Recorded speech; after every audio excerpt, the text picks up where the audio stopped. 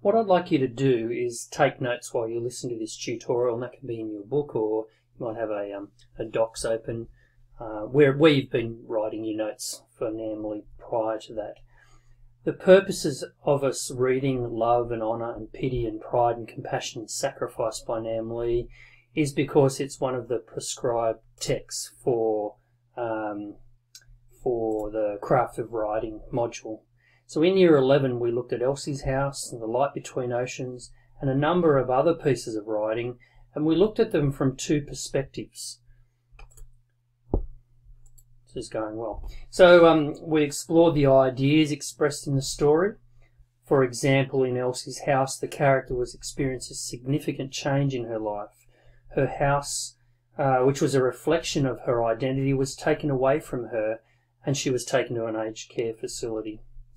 And secondly, we're going to look at, we looked at the stylistic choices used by the author to bring the story to life. So, for example, um, the use of light in that story, how it was really warm and nurturing in the house, and it was artificial and cold in the outside world.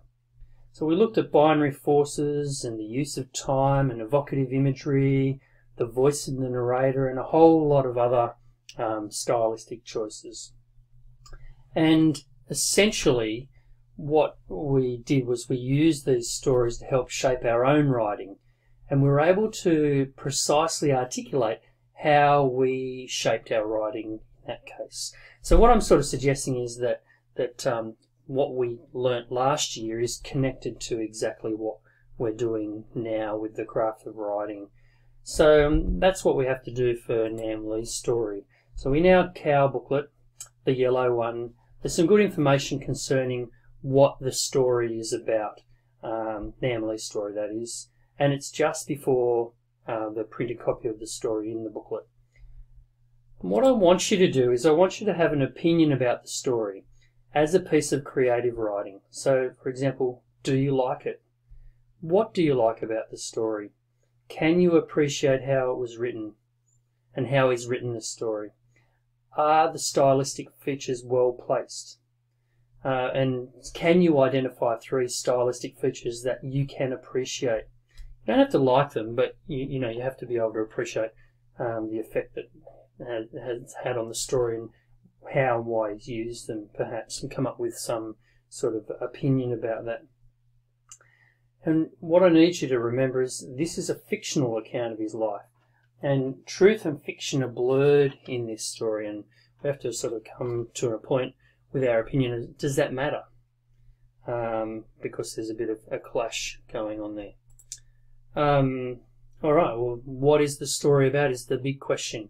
And before we begin that, I wanted to show you this comic that was in today's paper. I really liked the Zits comics. Okay, and just have a look at it. What it's really about is it's highlighting, and the comics, this comic always does that, the different worlds and the different perspectives of the father and the child, or the parents and the child in the, the whole story. Okay, so, um, you know, they're, they're existing in the same space, but they're on two completely different planets, and they're, they're viewing the world from, from um, different perspectives.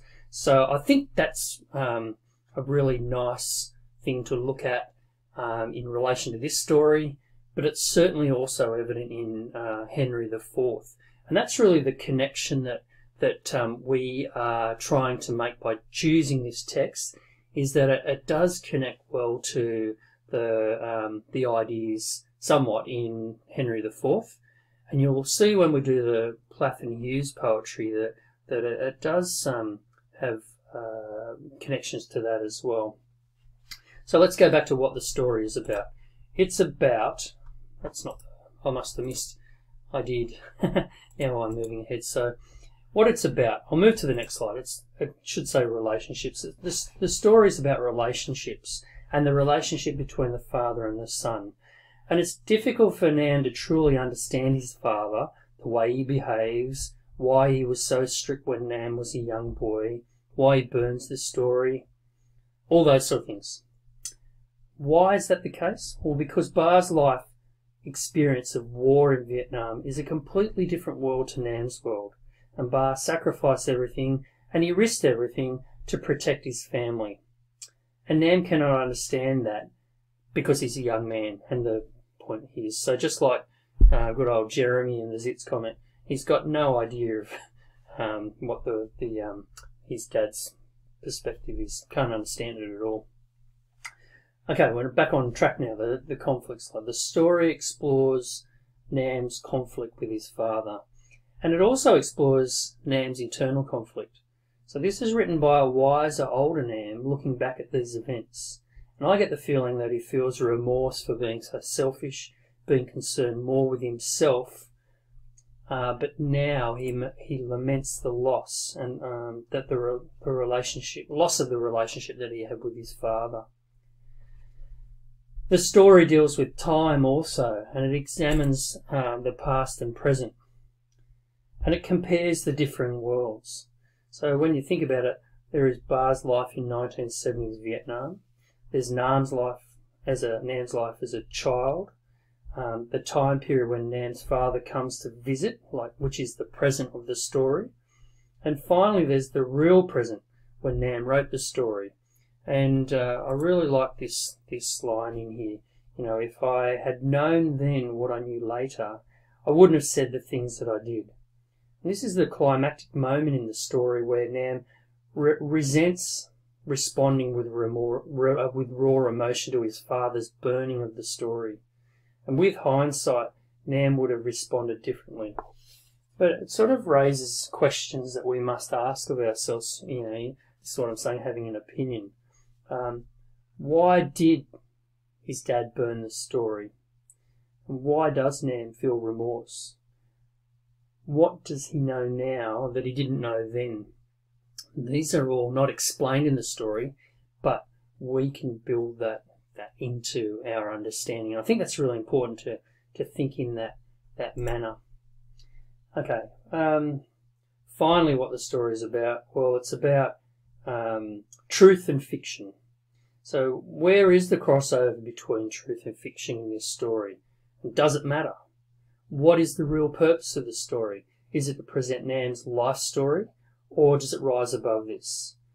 And I, I know personally I was totally immersed in the story, thinking it was truth. So it's a clever piece of fictional writing, and and I think that Nam's voice is is really really authentic, you know. And we have to look at that and say, well. what is the um, the relevance, or is it important that it's a fictionalized account that the the truth has been blurred, um, or or you know even sacrificed in telling this story? Does that matter, or do the ideas and the the, the message that that is presenting um, in the story does, is that more important, and do we get more out of it that way? Um, so, stylistically, one thing he does is he uses me- metafiction as a means of constructing a relationship with us as the reader. And uh, that's, you know, he's telling us along the way, um, you know, what he's doing in the writing of his story. And there's a really nice line as a good example, I think, oh, which I didn't put in there. I was in a bit of a rush. Um, he says, maybe he didn't tell it exactly that way. Maybe I'm filling in the gaps but you're not an, you're not under oath when you write a eulogy, and this is close enough. So he's he's um, presenting his own insights within his story. So he's talking about the process of him writing the story, and uh, that's that's uh, you know an interesting thing to explore when you read back over the story. One thing you'll need to do uh, is to go and find some nice moments in the story, some areas where Le has used imagery, short sentences to effect, or other stylistic features, some of the things that we've been talking about before, so that you can discuss this in a reflection. Uh, next time we'll have a look at the types of things that you could be asked to to to write um, in relation to this story. Um, and I just thought it would finish with an example of of um, what I'm trying to get you to look at, and that is one thing you could say is, uh, you know, as I was reading, I, I noticed um, that Le's appealing to the sense of smell in in the story, and sort of three quarters in through the story, he um, in the in the space of uh, you know probably about fifteen or twenty lines, he uses these two two little quotes. So the room smelt like peppermint, and so this is drawing on a memory from the past when when uh, Nam was um, resisting returning home and living with his dad. And then shortly after that, Nam, in the present, returns home to his apartment, and Dad's been cooking, and he, the apartment smelt like fried garlic and sesame oil. So he's using images, oh sorry, imagery to capture moments in time. So I want you to go off and find three uh, different aspects of um, style in the story that you can draw on and and build into a, a reflection. Um, but it might also be that you will build that into your writing as well. So, but we'll talk about that next time.